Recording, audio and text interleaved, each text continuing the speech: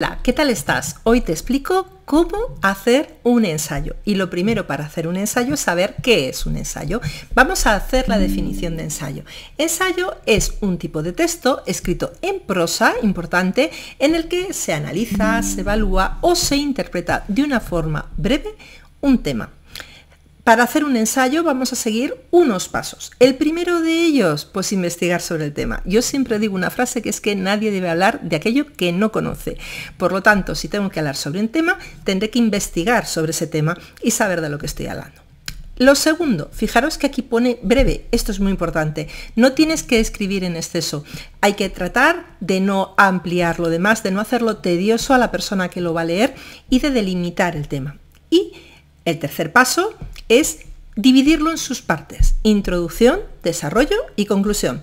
La introducción, generalmente muy cortita, simplemente tiene la función de introducir al lector en el tema y para ello ¿qué va a hacer? Presentar una hipótesis. La hipótesis es la idea principal. Además, aparece el objetivo del ensayo y, si lo ha habido, los antecedentes de la investigación. Después de la introducción viene el desarrollo. El desarrollo es el cuerpo del ensayo. Aquí sí que nos vamos a explayar un poquito más, pero tampoco cansando, y vamos a exponer nuestros argumentos, los argumentos en los que se apoya la hipótesis.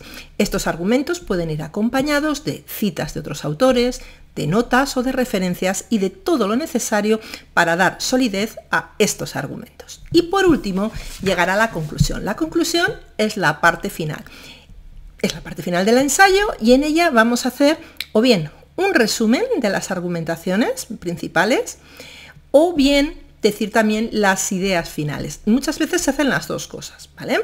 Eh, termina, porque con estas ideas finales lo que podemos hacer es terminar dando nuestro punto de vista o con una resolución final del tema. Por tanto, la conclusión incluye un resumen de las argumentaciones y esas ideas finales que queremos plasmar para terminar el ensayo. Yo siempre digo que es esa idea final que quieres que el otro se quede con ella. Lo último que quieres que escuche.